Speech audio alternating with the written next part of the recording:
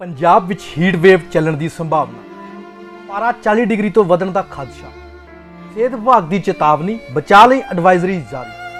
ਮੌਸਮ ਵਿਭਾਗ ਵੱਲੋਂ ਆਉਣ ਵਾਲੇ ਦਿਨਾਂ ਵਿੱਚ ਤਾਪਮਾਨ ਵਧਣ ਦਾ ਖਦਸ਼ਾ ਹੈ। ਪੰਜਾਬ ਦੇ ਸਿਹਤ ਤੇ ਪਰਿਵਾਰ ਭਲਾਈ ਵਿਭਾਗ ਨੇ ਹੀਟ ਵੇਵ ਨੂੰ ਲੈ ਕੇ ਐਡਵਾਈਜ਼ਰੀ ਜਾਰੀ ਕੀਤੀ ਹੈ। ਮੌਸਮ ਵਿਭਾਗ ਅਨੁਸਾਰ ਜੇਕਰ ਮੈਦਾਨੀ ਇਲਾਕਿਆਂ ਦਾ ਤਾਪਮਾਨ 40 ਡਿਗਰੀ ਜਾਂ ਇਸ ਤੋਂ ਵੱਧ ਤਟਵਰਤੀ ਖੇਤਰਾਂ ਦਾ 37 ਡਿਗਰੀ ਜਾਂ ਇਸ ਤੋਂ ਵੱਧ ਅਤੇ ਪਹਾੜੀ ਖੇਤਰਾਂ ਦਾ 30 ਡਿਗਰੀ ਜਾਂ ਇਸ ਤੋਂ ਵੱਧ ਪਹੁੰਚ ਜਾਵੇ ਤਾਂ ਲੂ ਵਧਣ ਦਾ ਖਦਸ਼ਾ ਹੈ। ਐਡਵਾਈਜ਼ਰੀ ਜਾਰੀ ਕਰਦਿਆਂ ਸਿਹਤ ਤੇ ਪਰਿਵਾਰ ਭਲਾਈ ਮੰਤਰੀ ਡਾਕਟਰ ਬਲਵੀਰ ਸਿੰਘ ਨੇ ਕਿਹਾ ਹੈ ਕਿ ਮਈ ਅਤੇ ਜੂਨ ਦੇ ਮਹੀਨਿਆਂ ਦੌਰਾਨ ਹੀਟ ਸਟ੍ਰੋਕ ਦੀ ਸੰਭਾਵਨਾ ਜ਼ਿਆਦਾਤਰ ਅਤੇ ਇਸ ਸਮੇਂ ਦੌਰਾਨ ਖਾਸ ਤੌਰ ਤੇ ਖਤਰਾ ਦੀ ਸ਼੍ਰੇਣੀ ਵਿੱਚ ਆਉਣ ਵਾਲੇ ਲੋਕਾਂ ਨੂੰ ਸੁਚੇਤ ਰਹਿਣਾ ਦੀ ਲੋੜ ਹੈ। ਉਹਨਾਂ ਕਿਹਾ ਕਿ ਟੀਵੀ, ਰੇਡੀਓ, ਅਖਬਾਰਾਂ ਆਦਿ ਰਾਹੀਂ ਸਥਾਨਕ ਮੌਸਮ ਦੀਆਂ ਖਬਰਾਂ ਵੱਲ ਧਿਆਨ ਦਿੱਤਾ ਜਾਵੇ। ਲੋਕ ਮੌਸਮ ਅਨੁਸਾਰ ਹੀ ਰੋਜ਼ਾਨਾ ਦੀਆਂ ਗਤੀਵਿਧੀਆਂ ਦਾ ਪ੍ਰੋਗਰਾਮ ਬਣਾਉਣ। ਸਿਹਤ ਅਤੇ ਪਰਿਵਾਰ ਭਲਾਈ ਵਿਭਾਗ ਦੇ ਡਾਇਰੈਕਟਰ ਨੇ ਦੱਸਿਆ ਕਿ ਸੂਬੇ ਦੇ ਸਮੂਹ ਸਿਵਲ ਸਰਜਨਾਂ ਨੂੰ ਇਸ ਸੰਬੰਧੀ ਵਿਸਥਾਰ ਹਦਾਇਤਾਂ ਜਾਰੀ ਕਰ ਦਿੱਤੀਆਂ ਗਈਆਂ ਨੇ ਅਤੇ ਨਾਲ ਨਾਲ ਹੀਟ ਸਟ੍ਰੋਕ ਤੋਂ ਪ੍ਰਭਾਵਿਤ ਮਰੀਜ਼ਾਂ ਦੀ ਦੇਖਭਾਲ ਲਈ ਹਸਪਤਾਲਾਂ ਵਿੱਚ ਮੁਕੰਮਲ ਪ੍ਰਬੰਧ ਕਰਨ ਦੇ ਦਿਸ਼ਾ ਨਿਰਦੇਸ਼ ਦੇ ਦਿੱਤੇ ਗਏ ਨੇ। ਬਿਊਰੋ ਰਿਪੋਰਟ, ਚੜ੍ਹਦੀ ਕਲਾ ਟਾਈਮ ਟੀਵੀ